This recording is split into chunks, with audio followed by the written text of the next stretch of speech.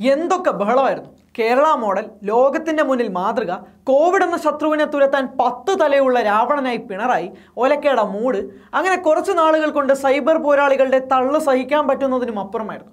സംഭവം ശരിയാണ് കേരളം പ്രതിരോധിച്ചു. നല്ല പോലെ തന്നെ. പക്ഷെ ഒരു മയത്തിലൊക്കെ തള്ളാടെ ഒരു മര്യാദയൊക്കെ വേണ്ടേ?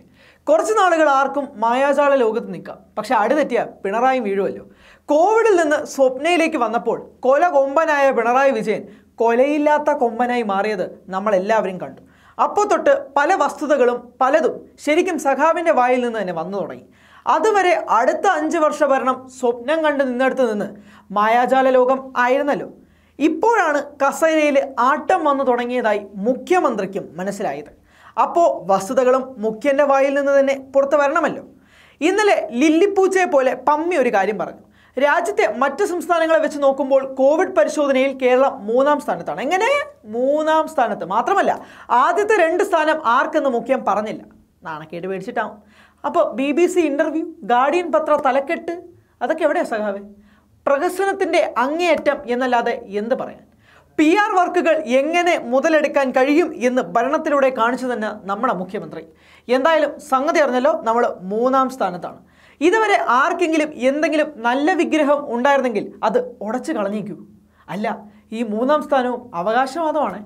ഇതിനകത്തെ കണക്കിലെ കളിയും പച്ചയ്ക്ക് തന്നെ ഉണ്ട്.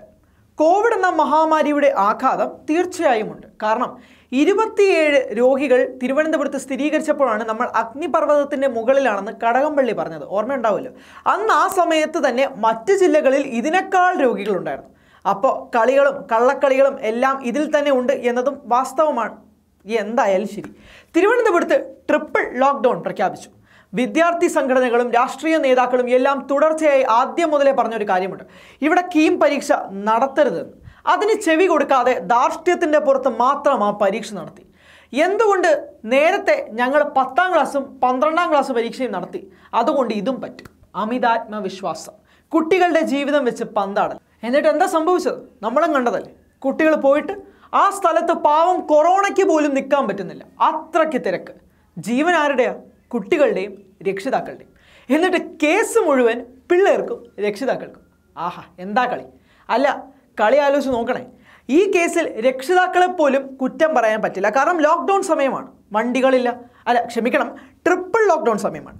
വണ്ടിയും കിണ്ടിയും ഒന്നും കാണില്ല കുട്ടികൾക്ക് വീട്ടിൽ പോകണ്ടേ?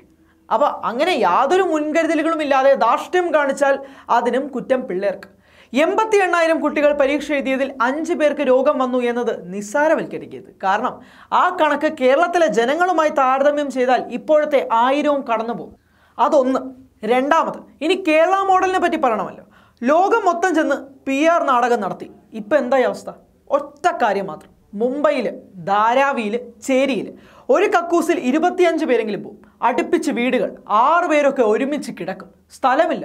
ആ സ്ഥലത്ത് പോലും ഇവിടെ മുഖ്യൻ തള്ളൽ നടത്തുന്നതിനേക്കാൾ നല്ല വൃത്തിയായി രോഗം കുറച്ച് ആളുകൾ അവിടെ കഴിയുന്നത് വസ്തുതയാണ്.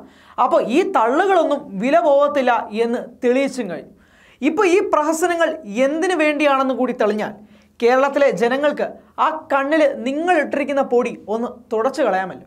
കാരണം ഇവിടെ തള്ളുന്ന തള്ളിന്റെ പകുതിയിൽ പകുതി കുറച്ചെങ്കിലും ആരോഗ്യ പ്രവർത്തനം കാണിച്ചാൽ പല പ്രവാസികൾക്കും ഇപ്പോഴും വീട്ടിൽ പോലും കയറി വരാണ്ട് അവസ്ഥ വരത്തില്ല. പല പ്രവാസികൾക്കും ഇപ്പോഴും ക്വാറന്റൈനിൽ കഴിയാം. സൗജന്യ ക്വാറന്റൈനിൽ. അങ്ങനത്തെ സൗകര്യങ്ങൾ പോലും ഇപ്പോഴില്ല. കാരണം അതൊന്നുമല്ലല്ലോ ഇവിടുത്തെ ചർച്ചാ വിഷയം. ആറു മണിക്ക് വരിക തള്ളുക മൈക്ക് ഓഫ് ചെയ്തിട്ട് പോവുക. അങ്ങനത്തെ തള്ളൽ പോലും കാണിക്കാത്ത പല സ്ഥലങ്ങളിലും നല്ല മനോഹരമായിട്ട് തന്നെ കോവിഡ് പ്രതിരോധ പ്രവർത്തനങ്ങൾ നടത്തുന്നുണ്ട്. ധാരാവി ഒരു ഉദാഹരണം മാത്രം. ആ ചേരിയിൽ ആളുകൾ എല്ലാവരും ഒരുമിച്ച് കഴിയുമ്പോൾ പോലും സമ്പർക്കവും രോഗവ്യാപനവും സാമൂഹിക അകലവും ഒന്നും പാലിക്കാൻ പറ്റാത്ത ഒരു സ്ഥലത്ത് പോലും അവർക്ക് നിയന്ത്രിച്ച് നിർത്താൻ കഴിയുമെങ്കിൽ ഇവിടെ ട്രിപ്പിൾ ലോക്ക്ഡൗൺ എന്തിനു വേണ്ടിയിട്ടാണ് പ്രഖ്യാപിച്ചത് എന്നും കൂടി നമ്മൾ മനസ്സിലാക്കണം. ഇരുപത്തിയേഴ് രോഗികൾ മാത്രമുള്ള ആ സമയത്ത് തിരുവനന്തപുരത്ത് ട്രിപ്പിൾ ലോക്ക്ഡൗൺ. ബാക്കിയുള്ള ജില്ലയിൽ ഒന്നും ട്രിപ്പിൾ ലോക്ക്ഡൗൺ ഇല്ല. എന്നിട്ട് ട്രിപ്പിൾ ലോക്ക്ഡൗൺ ഉണ്ടായിട്ട് എന്തുണ്ടായി? ഇവിടെ രോഗികൾ കൂടിയതല്ലാതെ എന്തായിരുന്നു പ്രയോജനം? ഇവിടെ ആറ് മണി തള്ളിൽ നിന്ന് ഞങ്ങൾ ഒന്നാണ് ഞങ്ങൾ ഒന്നാണ് ഞങ്ങൾ ഒന്നാം സ്ഥാനത്താണ് എന്ന് പറഞ്ഞാൽ ഇപ്പോൾ എൻ ഐ എ സെക്രട്ടേറിയറ്റ് വരെ കയറി അപ്പോൾ ഇനി ഒന്നാം സ്ഥാനത്തിന്റെ കപ്പ് എൻ ഐ എ തന്നെ തന്നോളൂ. അതിനി ഇനി കരഞ്ഞ് വിളിക്കേണ്ട ആവശ്യമൊന്നുമില്ല.